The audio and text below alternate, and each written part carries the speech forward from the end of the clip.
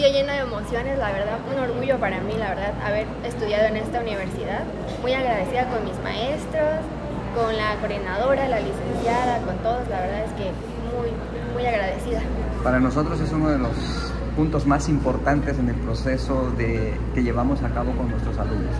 Eh, la culminación de todo el, proceso educativo de nuestra comunidad estudiantil es con la entrega precisamente de un título, ¿no? y es una responsabilidad que tenemos nosotros para ellos. Estamos cumpliendo nosotros ya con esta, con esta última etapa en la, en la preparación de nuestros alumnos como profesionistas. La Universidad Pablo Guardado Chávez cerró la tercera semana de noviembre con una maratónica entrega de títulos a egresados de licenciaturas y posgrados.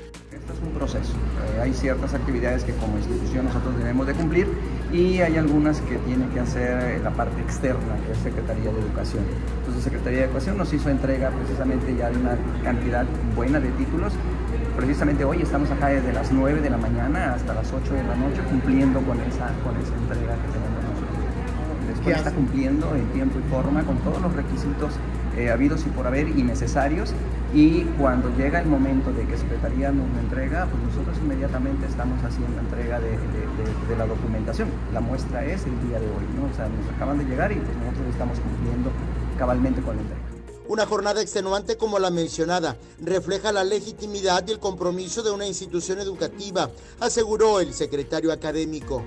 Eh, la diferencia, siento yo, es la importancia que le damos a, esta, actividad o a esta entrega. ¿no? Eh, nosotros, para nosotros es muy importante tener presente a un padre de familia, a, a, un alumno en esta etapa. No es nada más, oye, ya te llegó el título, ven y recógelo. ¿no? O sea, llegó un título, pero pues vamos a darle la importancia que se debe.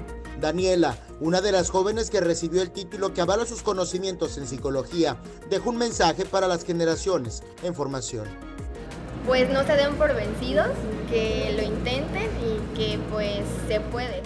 Eric Ordóñez, Alerta Chiapas.